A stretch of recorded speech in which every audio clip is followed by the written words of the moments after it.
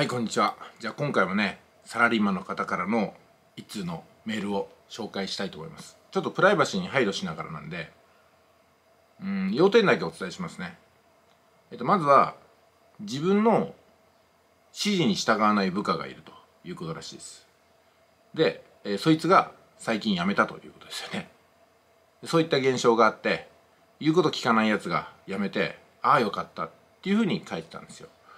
でそれで、うん、その方はね職場があこうやって続けているだけでだんだんだんだん自分の居心地のいい場所になってくるようで、えーよかったんでこれからビジネスの方にもいろいろと力を入れていきたいっていうふうに書いてあるんですけどもこれに対して私ちょっとねあのー叱ったわけなんですよね。うんまあ、何やってんだみたいなことでね大叱りはしなかったんですけどもあの仕事をするってどういうことかなっていうふうなのでメッセージを送ったんですよ。仕事をするっていうのは一つは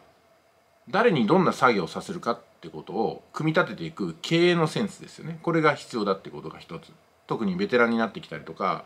あのもう30代も過ぎればねそういうことをしなくちゃいけない。あと一つは人材育成ができたかどうかなんですよ。もし部下の人が言うことを聞かない後輩が言うことを聞かないってことは人材育成ができてないしやってないってことなんですよね。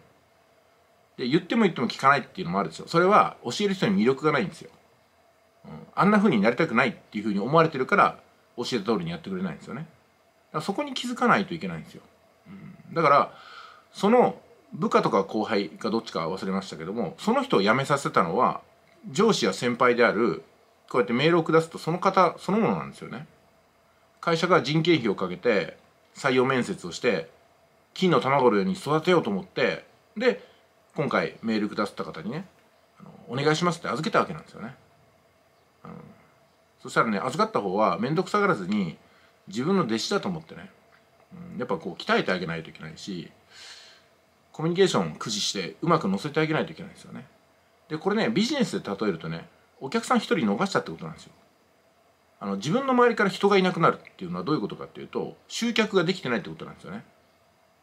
もう3人のレンガ職人の話したと思いますけどもあの一生懸命ね高い、えー精神性で働いているとあのあなたみたいになりたいっていうふうな人が増えてくるはずなんですよ。でも、うん、魅力的じゃない人にはあんま人はくっついてこないんですよね。サボりたい人はもしかしたらついてくるかもしれませんけどもやっぱりこう仕事をして1年目2年目じゃなくてねもう10年20年と社会人やってるわけですから、うん、だから人を育成してあの人を無駄にね辞めさせないっていうこともすごく大事なんですよ。人が育たないと会社育たないですからね。で人が育つのはどういうことかっていうと人を育てられる人間になったかっていうことなんです全ては。人材育成ができる人間ですかっていうことね、うん、だから何でもかんでもね怒鳴ればいいってもんでもないし見て見ぬふりすればいいってもんでもないしおだてればいいってもんじゃないんですよ。それを駆使していくことなんですよね。あのこの人の言うことに従った方がいいかもなって思わせないといけないんですよ。で私はその今会社員をやってませんけどもあの速化塾っていう自分の作ったコミュニティに自発的に入ってくださる方が1,000人を超えてるわけなんですよね。まあ1,000人超えたのはもう何年か3年4年ぐらい前ですけどもこれはだからあの自分事ながら言いますけどもまあ恐縮ながら言いますけどもねやっぱ嫌いだったら入ってこないと思うし久保さんみたいになりたいと思わなければお金払って入門してこないと思うんですよ。そういうことなんじゃないかなと思うんですよ。これはね会社で部下や後輩が入ってくるよりも自分の作ったコミュニティオンラインサロンとかに人が入ってくる方のがこれちょっと難しいわけなんですよね。でしかも速化塾の熟成ってことはそれを学んでるわけなんですよ。どうやったら自分に人が寄ってくるだろうかどうやったら自分のようになりたいというふうに思ってくださるだろうかとかね。集客でもう失敗しちゃってるんですよこの方あのビジネスをやろうと思っても会社が強制的に部下とか後輩としてね給料を払いながら当ててくれた人。でお互いに給料が払われてるわけでしょだから免従副配でもお金が入る環境にあるわけですよ。なのにその人が離れちゃうってことなんですよね。その方もこういう難しい時期にまた転職活動しないといけないからすごいリスクですよ。でもそれを考えてもやめた方がいいっていうふうに誰が思わせたんですかってことですよね、だから一人無駄にしたんじゃないかなと思った方がいいですよこんな人がいなくなって生成者みたいなことじゃなくってあのもう有能な人材をね潰してしまったっていうふうに考えた方がいいですよね。だからそもそもね人が育てられないっていうのはやっぱ組織にいて有害社員になる可能性があるんですよ。あいつのところに人を当てたらみんな辞めるよねっていうふうに言われたいのかそれともあの人に任せたらどんな人でも育つよねっていうふうに言われるのかなんですよね。うん、だからね自分の周りから部下や後輩といえども人が去っていくっていうのは、まあ、自分が魅力的な人間なのかとかねビジネスに向いてるのかとかビジネスに顔を向けてるのかってことをよく考えた方がよくて、うん、じゃあそうやってね同じ会社の身内ですら離れていく人にお金を払う払ってくださるようなお客さんがついてきてくれるのかなってことですよね。そこはね本当に真面目に考えた方がいいんじゃないかなと思います。このまんまだったら永遠にこのままですから、うん、なんかね出会った人が離れられなくなるような人にならないとまあみんながみんなそうはならないですけどね、やっぱこう少しでも多く魅力を感じさせられるような人間になっていかないと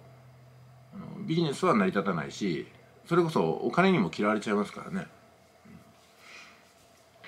から少なくとも稼げるってことっていうのはあのお金を払ってもいいよっていうふうに認めてくださってるってことだと思うんですよ払う方がそこは変わらないと思うんですよね、うん、でもねなんかこう、まあ、A さん B さんっていう格があって A さんの部下に B さんがついた。B さんは気に入らなくても A さんの部下でいれば給料入るのにそれをもう断ってでもね離れたいと思わせるような A さんだったということはちょっとそれは真剣に考えた方がいいんじゃないかなと思いますね。えー、ということでねもう人材育成は30過ぎれば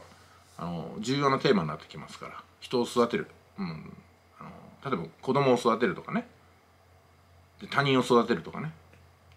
場合によっては上司とか先輩を育てるっていう役割もいるわけなんですよ。でそれがひいて言えば自分が育つってことなんですよね。これちょっと真面目に話しましたけども先ほどそういうねやり取りをさせてもらって